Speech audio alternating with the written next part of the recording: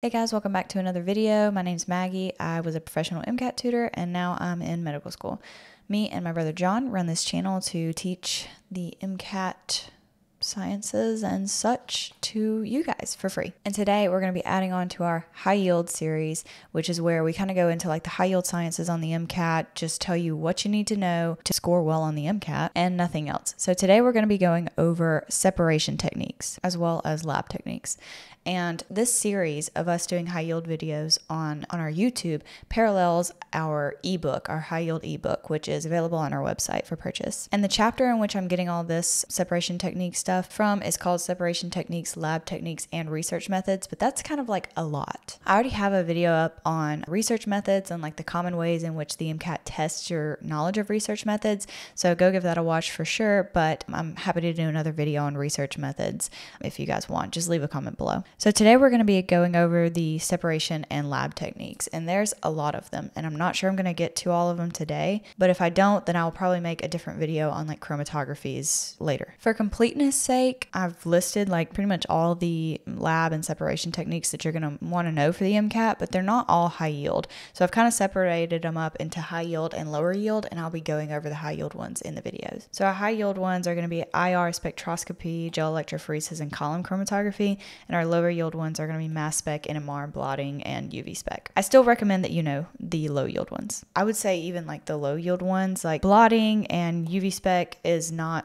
uncommonly tested. It, I would say they're more like mid yield or something. What you need to know about the lower yield ones is that mass spec separates things based on their mass to charge ratio. NMR is all about protons, and sometimes it gets brought up because, like, MRI machines that we use in medicine are just big NMRs. So there's kind of like a connection with medicine there, and they kind of like testing, they kind of like having passages on that kind of stuff, but it's not commonly like tested in the questions. Um, you need to know a little bit about southern, western, northern, eastern blotting. Mainly that these blotting techniques are all used after you run a gel electrophoresis on some molecules. And what they're trying to do is determine the amount of different things in the sample. Okay, that's really vague, but it kind of has to be vague because they are testing for different things. Southern blotting is focused on how much DNA is in the sample. Northern is testing how much RNA. Western is testing how much proteins, and then Eastern, which is never tested, is post translational modifications to a protein. So I would definitely know like which ones the different blotting techniques are looking for. UV spec is basically shining UV light onto some molecules and seeing kind of their response to it and how much of that UV light is absorbed. And the most important thing to know for UV spec is that your conjugated molecules are going to absorb the most UV spec. So if you ever see something that's like, which one of the following would, would absorb, you know, or have the highest whatever on UV spec, just pick the one that's the most conjugated. And so that has the most double bonds, kind of like every other double bond, you know, like this. This is like a conjugated molecule. But we're going to be looking more at the high yield side. So first I want to talk about IR spec. So, IR spec or infrared spectroscopy shoots an electrical field at a molecule and then measures their vibrational frequency. The physics behind it are not near as important as knowing um, just the specific resonance frequency of functional groups, because what that you know, the vibration that it picks up from shooting an electrical field at these molecules and kind of the pattern that you get will tell you what functional groups are in your molecule. And so it's really important for characterizing um, molecules that you don't exactly know what they are. Now, maybe in your orgo class, you were given an IR spec and you had to guess what the molecule is. And that's not necessarily how it's going to be tested on the MCAT. The most common way I see it tested is that you are told a specific resonance frequency. Maybe you're shown an actual IR, you're usually not. And you're asked to like pick the molecule that it is. But it's going to be pretty simple usually and straightforward because there's only going to be one that has that specific function functional group. And I think this makes more sense when you kind of get into it. So I pulled this table from our high yield book. These are like the most common functional groups that are tested on the MCAT. This is not at all an exhaustive list, but most likely 90 8% of the functional groups that you see on the MCAT that are tested via IR are going to be these. So we'll start with the highly most common tested one, and which is the carbonyl group. So you need to know the resonance frequency of these functional groups, and you also need to know um, the characteristics of them or what they actually physically look like. A carbonyl group, which you should know is a C double bonded to an O, is going to have a resonance frequency of around 1700 or I've seen 1720 inverse centimeters, and it's going to be a sharp and deep line. Now let's see what that actually looks like.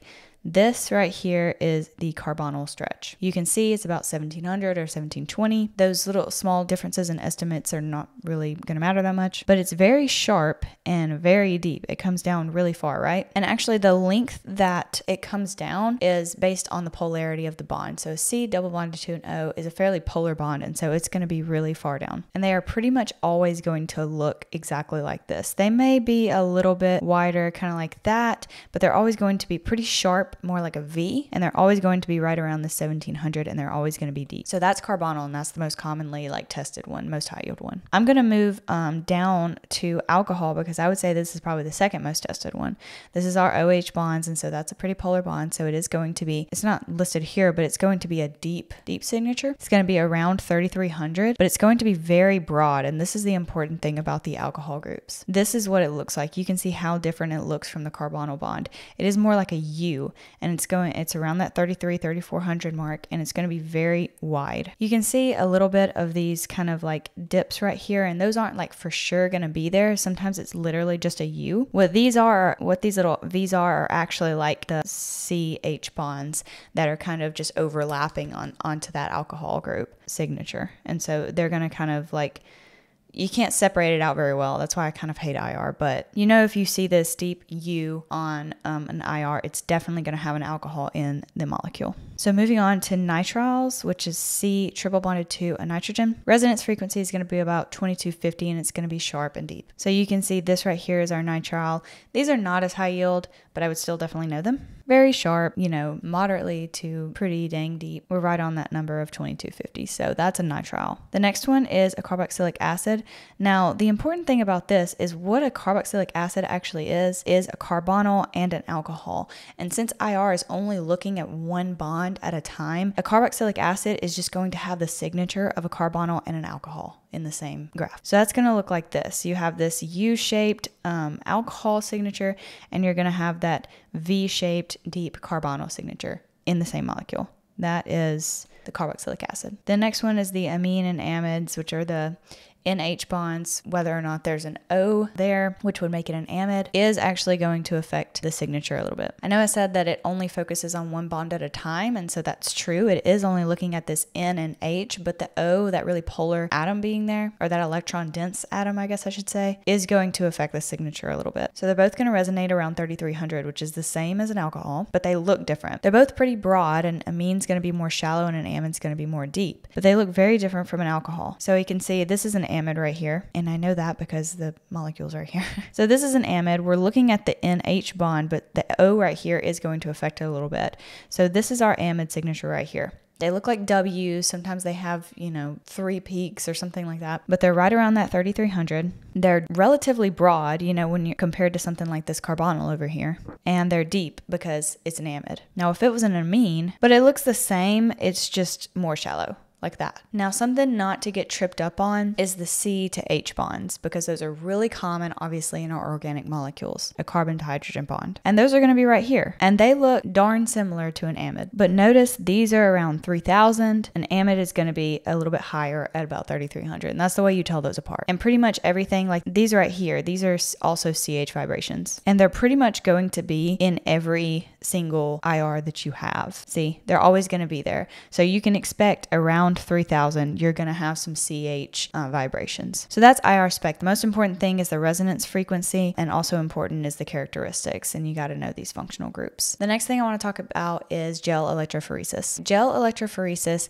is a lab separation techniques. It separate uh, molecules based on definitely their size, but sometimes also their charge. It kind of depends. So there's two major types. There is native gel electrophoresis. That's going to be the one that uses both charge and size and then there's SDS page, which stands for sodium dodecyl sulfate polyacrylamide gel electrophoresis. And what you do in SDS page is that you coat the molecules in a completely negative charge. And so everything in the mix has a negative charge. And so the charge does not matter. You've just eliminated the difference in charge that we could use to separate.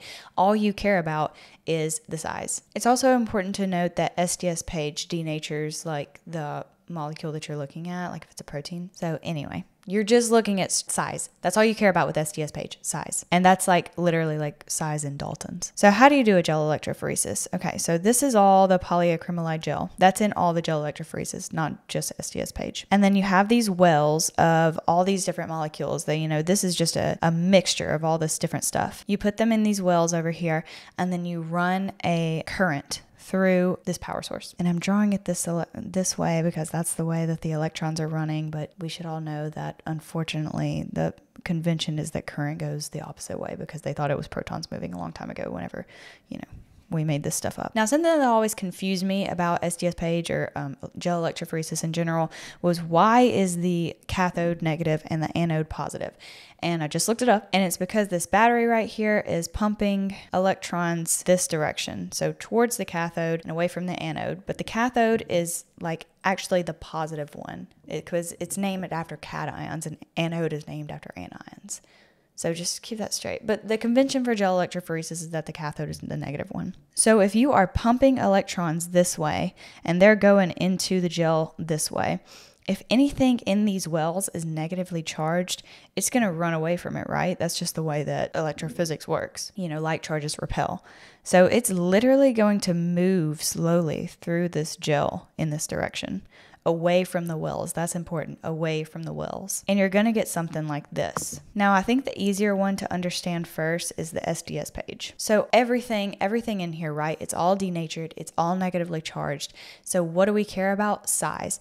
How do these things separate from each other on size? Because if you look at this, these are all different groups of molecules, okay? So it kind of makes common sense. If this is literally like Vaseline up in here, what is going to be able to move the fastest through this thick gel the smaller molecules, right? So your largest molecules are going to be closest to the well and the smallest ones are going to be furthest from the well. That's SDS page. Now, if we are being jerks and we're doing native gel electrophoresis, then the charge matters as well. So the more negatively charged ones are going to go further down the well because they're trying to run away from that electric current.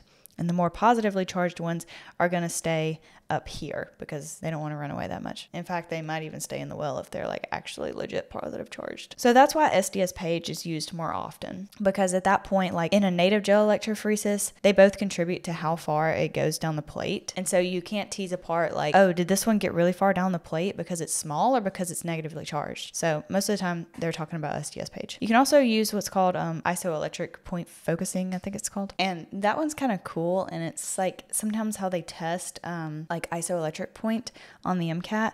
And what it is, is that this gel is like a gradient of pHs. And so if you have these charged molecules, say you have these charged proteins in your wells, and then you run a current through them, these proteins are going to move, right? Because they're charged. But once they get to their, um, you know, isoelectric point, say this is a pH of, you know, five or whatever at this point in the gradient. Once they get to a pH of five and they're at their isoelectric point, they no longer have a net charge. And so they do not move at all in response to this current. So they're going to stay right there. And you can use that to separate proteins because, okay, well, I know that this one stopped at, uh, you know, 5.1 or whatever. So that's the isoelectric point, but this one didn't stop until you know 4.6 and so that's that one's isoelectric point.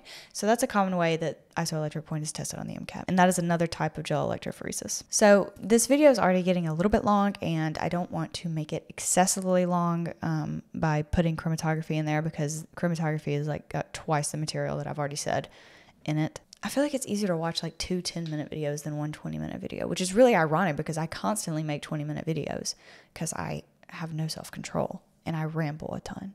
But anyway, I'm going to make a separate video on chromat- chromatography techniques. And then you guys let me know if you want to see a video on uh, research methods so that we could like round this out, this chapter in the high yield book out. Anyway, thank you guys so much for watching. I hope that I made things easier and showed you what was actually that you needed to know on the MCAT for these lab and se- separation techniques. Make sure to check out all of our other projects. We have a Discord channel that's like really popping off lately. We have our high yield ebook. We have um, the Anki deck that comes with that. And we have a lot of other projects um, that are super exciting that are coming down the road. So let us know what you want to see. Hit like and subscribe if you want to follow along, and I'll see you guys in the next one. Bye.